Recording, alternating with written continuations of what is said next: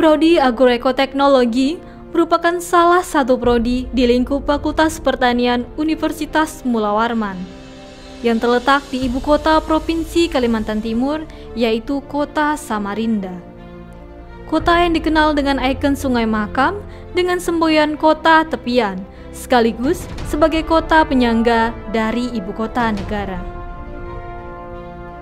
Prodi Agroekoteknologi berdiri sejak 28 September 1962, tepat satu hari setelah pendirian Universitas Mula Warman, dengan nama jurusan Budidaya Pertanian dan berkembang menjadi tiga program studi, yaitu agronomi, ilmu hama dan penyakit tanaman, dan ilmu tanah.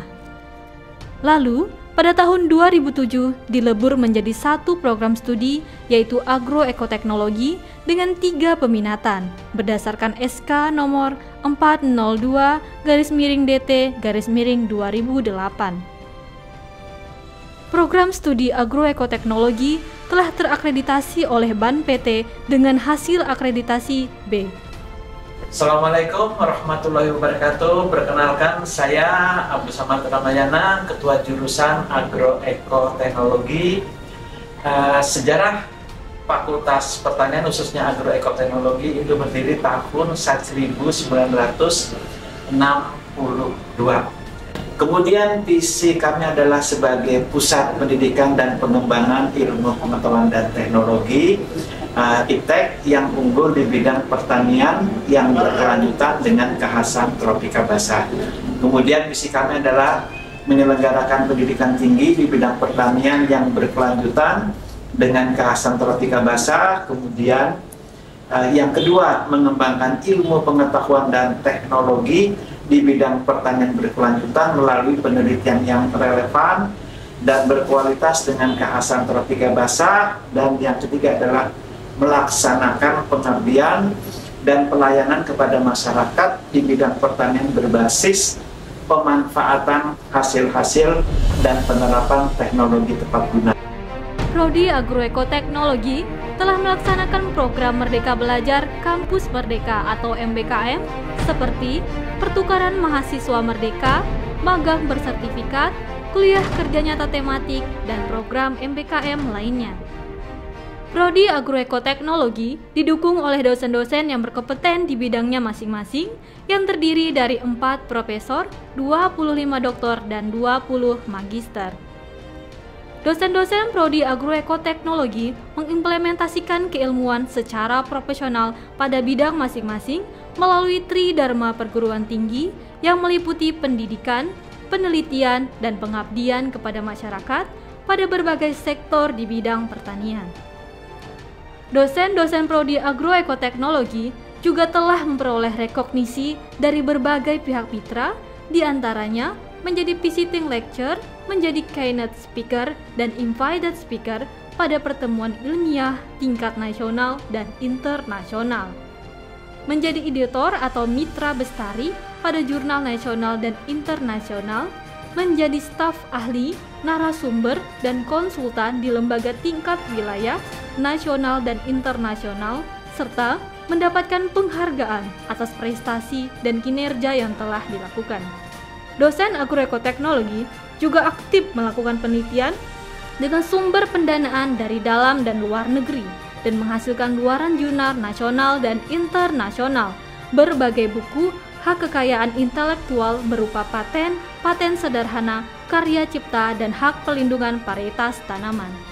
Untuk menunjang pelaksanaan kegiatan belajar mengajar, berbagai fasilitas penunjang terus ditingkatkan, meliputi kelas yang representatif, fasilitas wifi, laboratorium yang mendukung, perpustakaan dengan berbagai koleksi referensi, baik buku dan jurnal di bidang pertanian, musola, gedung tata usaha, gazebo, gedung pertemuan, taman, gedung sekretariat UKM, serta kantin. Seluruh fasilitas tersebut dapat digunakan oleh mahasiswa untuk menambah ilmu pengetahuan serta mengembangkan potensi diri. Program studi agroekoteknologi memiliki enam laboratorium yang dikelola oleh kepala laboratorium yang dibantu oleh Pranata Laboratorium Pendidikan dan Teknisi Laboratorium, di antaranya Laboratorium Bioteknologi, Laboratorium Kultur Jaringan, Laboratorium Hama dan Penyakit Tumbuhan, Laboratorium Agronomi, Para-Para dan Rumah Kaca, Laboratorium Kartografi dan Sistem Informasi Geografis, Laboratorium Ilmu Tanah. Serta Prodi Agroekoteknologi juga dilengkapi dengan kebun percobaan yang memiliki luas kurang lebih 18 hektar berlokasi di Desa Karangtunggal, Kecamatan Tenggarong Seberang, Kabupaten Kutai Kartanegara. Kebun percobaan Teluk Dalam memiliki fungsi sebagai lokasi praktek dan penelitian bagi mahasiswa dan staf pengajar Fakultas Pertanian Universitas Mula Warman. Untuk menunjang diseminasi hasil penelitian, Progdi Agroekoteknologi memiliki dua jurnal, yaitu Jurnal Agroekoteknologi Tropika Lembab dengan akreditasi Sinta 4 dan ASEAN Journal Agriculture. Selain itu, sumber daya manusia agroekoteknologi juga terus dikembangkan melalui forum diskusi, workshop, loka karya, dan pelatihan-pelatihan yang mendukung baik secara luring maupun daring. Berbagai kerjasama nasional maupun internasional telah dilakukan oleh Prodi Agroekoteknologi dalam hal pendidikan, penelitian, pengabdian, magang, dan praktek kerja lapangan dengan berbagai instansi pemerintah, akademisi, dunia usaha, dan dunia industri yang semakin dilibatkan serta ditambah bertujuan untuk meningkatkan mutu sumber daya manusia dan mutu pendidikan dalam mendukung penerapan kurikulum MBKM di antaranya kerjasama dengan SKPD di lengkup pemerintah provinsi dan kabupaten kota di Kalimantan Timur, Kementerian Pertanian, Kementerian Lingkungan Hidup dan Kehutanan, PT Kaltim Prima Coal, PT Sepron, PT Pupuk Kaltim, Thailand Prince of Sokya University, Thailand Naraswan University, Faculty and Graduate School of Agriculture Kyoto University, dan lain sebagainya. Untuk meningkatkan sumber daya manusia mahasiswa, Prodi Agroekoteknologi memfasilitasi mahasiswa dalam suatu wadah yaitu Himpunan Mahasiswa Agroekoteknologi atau yang lebih dikenal dengan Himagrotek sebagai pengembangan potensi diri mahasiswa baik akademik maupun non-akademik. Perkenalkan, kami dari mahasiswa Agroekoteknologi Angkatan 2021, saya Noni Isnaini. Saya Monika Tiara. Saya Alicia Kaila Desava. Jadi, di jurusan Agroekoteknologi ini sendiri memiliki tiga bidang kajian studi, yaitu agronomi, ilmu tanah, dan hama penyakit tumbuhan. Hal ini memudahkan kita dalam memfokuskan dan minat dan keinginan kita dalam mendalami ilmu di agroekoteknologi. Untuk saat ini, pelayanan jurusan agroekoteknologi telah dilaksanakan dengan cukup baik. Para staf membantu mahasiswa-mahasiswi dalam pengurusan administrasi dan memberikan informasi. Selain itu, pihak jurusan juga membantu mengurus beasiswa dan urusan perkuliahan lainnya baik dalam lingkup kampus maupun di luar kampus. Salah satu fasilitas yang diberikan oleh jurusan yaitu laboratorium dalam setiap bidang kajian. Perkenalkan, nama saya Ika Dewi Santika selaku Ketua Umum Himagrotek tahun 2022. Jurusan Agroekoteknologi sendiri telah memberikan wadah untuk teman-teman mahasiswa yaitu Himpunan Mahasiswa Agroekoteknologi atau Himagrotek untuk meningkatkan kemampuan teman-teman dalam disiplin ilmu maupun keprofesian di jurusannya. Mahasiswa Prodi Agroekoteknologi telah banyak menorehkan sejarah dan prestasi yang membanggakan, baik prestasi akademik maupun non-akademis dari tingkat nasional dan internasional, di antaranya dalam PKM, PHP 2D, KBMI, mahasiswa berprestasi tingkat universitas, mewakili dalam seminar internasional dan kegiatan akademik lainnya, dan juga berprestasi di bidang non-akademik seperti olahraga, seni budaya, dan musabakoh tilawatil Quran. Sarjana pertanian lulusan Prodi Agroekoteknologi memiliki masa depan yang cerah karena prospek kerja banyak yang tersedia. Profil lulusan Prodi Agroekoteknologi antara lain 1. Sebagai praktisi 2. Sebagai akademisi 3. Sebagai peneliti Assalamualaikum warahmatullahi wabarakatuh. Halo semuanya, perkenalkan saya Yeni Albarida.